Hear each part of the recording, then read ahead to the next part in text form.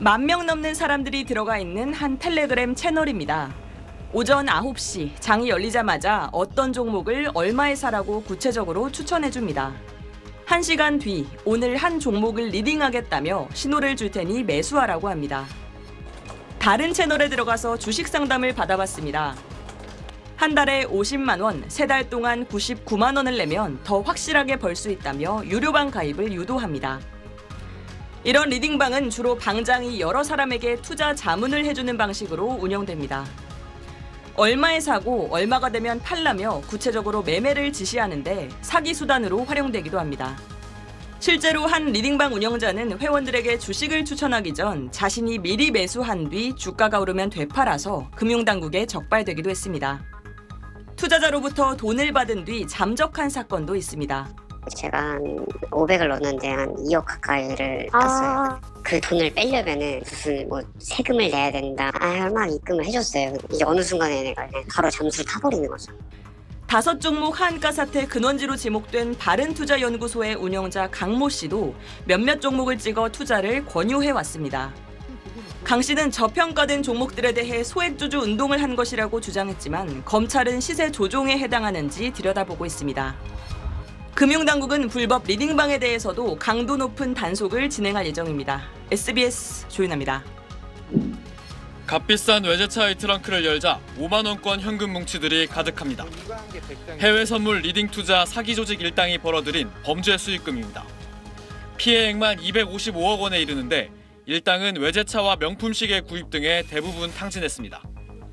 경찰은 총책 30대 A씨 등 조직원 40명을 통신사기 피해 환급법 및 자본시장법 위반 혐의로 검거하고 이중 13명을 구속했습니다. 본인이 해외 선물 투자 빙자 사기 가담했다는 혐의로 긴급 체포합니다.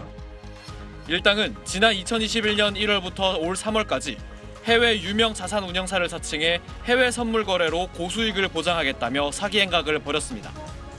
가짜 홈 트레이딩 시스템을 만들어 실제 수익이 나는 것처럼 연출된 화면을 투자자들에게 보여주고 대포 통장으로 투자금을 받아 챙긴 겁니다.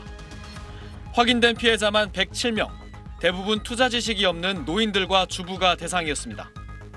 구독자 수가 10만여 명에 이르는 투자 유튜브 채널까지 운영했는데 대포폰으로 실시간 방송 접속자 수도 조작해 투자자들을 속였습니다. 경찰 조사 결과 이들은 국내와 동남아에 거점을 두고 본사 운영팀과 고객센터, 개발 운영과 총판 관리팀까지 두는 등 조직적으로 범행한 걸로 조사됐습니다.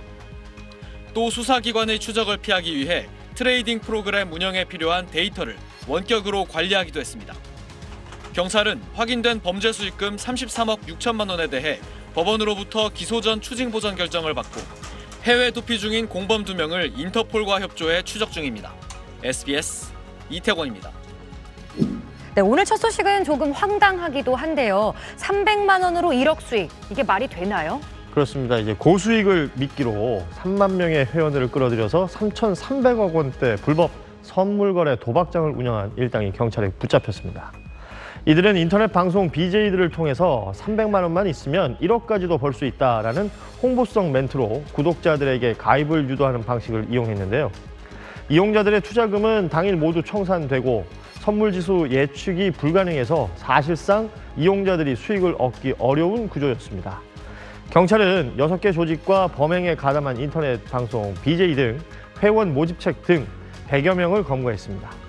이들이 모집한 피해 회원은 무려 3만 명에 달했는데요.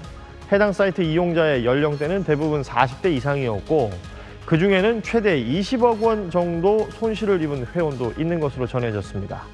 경찰은 계속해서 동종 방식의 사설업체 운영자와 회원 모집책 등을 추적, 검거할 예정입니다.